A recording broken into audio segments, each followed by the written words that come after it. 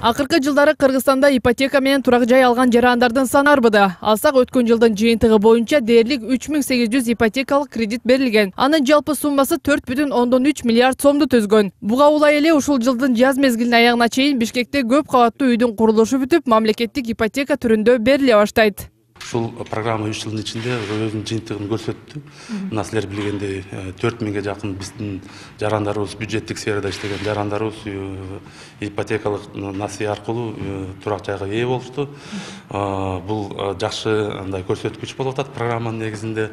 Андан тышкары жалпы сумма болсо уже төрт миллиард сомдон ашып кетти бул ушул өкмөттөн берилген бюджеттик суд аркылуу ушундай жумуштар жүргүзүп атат биз бүгүнкү күндө үч миллиард сегиз жүз миллион сом бюджеттик суда катары алып ушул программа аркылуу биздин өнөктөш банктар менен чогуу иштешип биздин жарандарыбызга жеткиздик мамлекеттик ипотекалык компаниянын планында эки миң он тогузунчу жылдан баштап жеткиликтүү ипотека долбоору да башталат. Бул ипотеканын түрүн алууну каалагандар алгачкы акыларын чогултуу үчүн мамлекеттик ипотека компаниясына кайрылуулары керек. адистер алгачкы акыны чогултуу үчүн үч жылдык убакыт талап кылынат жана бул депозит беш пайыздык ченемде болот дешет. Анткени менен ипотеканын күнгөй тескейи кандай кыргызстандын эли кыйналып калбайбы.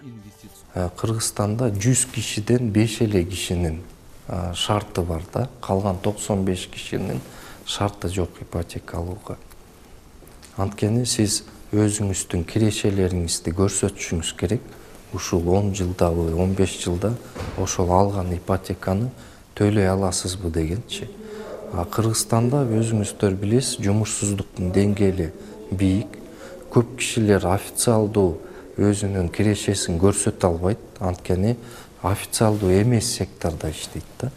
Турак жай маселеси курч болгону менен мамлекет жеткиликтүү деген ипотеканын өзү жетишсиз. Жана көптөгөн жарандар ипотекалык компаниялар сунуштаган моделдерге туура келбейт деген эксперттин оюн улай шаар тургундарынын пикирин уктук. Мамлекеттик ипотеканын оң жана терс жагын карап бир жагынан майнасын эсептеп турган тургундардын пикири төмөндөгүчө болду. Кыйналбагандарга жакшы эле анан. Кыйналгандарга мисалы он беш жылга эметип салса анан ал он беш жылда сарсанаа менен эле бүтөт го деп эле ойлой берем да. Мен биздин турмуш өзүнчө алдыга жылып атат. Бул ипотека дүйнө жүзүндө бул өзүнчө таралган нерсе. Башка мамлекетте жетишкен мамлекеттерде кредит бул өзүнчө бир баягы турмушка керектүү бир күнүмдүк даже ушундай бир эме болуп калганда кредит алышып жашай берет. Сразу налам акчасы болбойт да.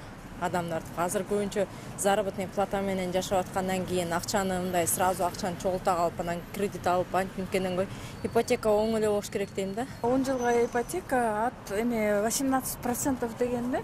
Ошол он жыл ичинде сен уже ошол э, алган үйүңдүн почти жарым суммасын кайра төлөп берет экенсиң.